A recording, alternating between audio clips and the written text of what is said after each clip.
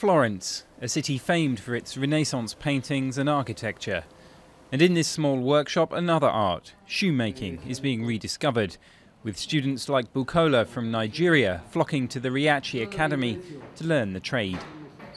I actually always wanted to make shoes, you know, and I just thought, okay, where is the best place to learn how to make shoes? If not Italy, I've learned so much in just six weeks, and I can't wait to go back home and do what I've learned.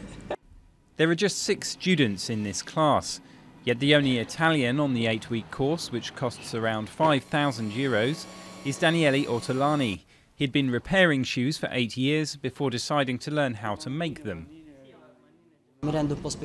I feel a bit special, yes, unique and I hope to pursue my career in spite of the difficulties artisans meet, at the very least in Italy. The course is run by master cobbler Angelo Imperatrice, who learnt shoemaking from his uncles.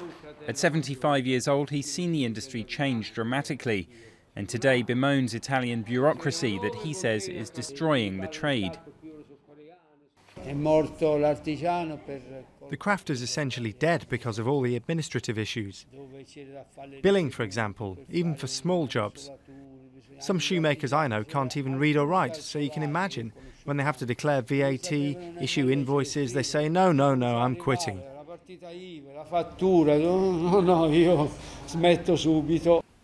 While Italians appear to be shying away from Angelo's expertise, Mashizan, a television producer from Singapore, hopes to launch his own brand of shoes one day.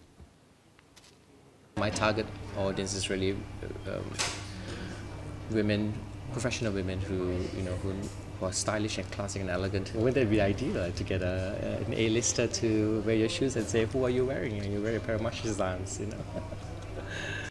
Italy is celebrated for its leather industry, and these students will hope that some of the expertise rubs off on them as they put their best foot forward and branch out on their own.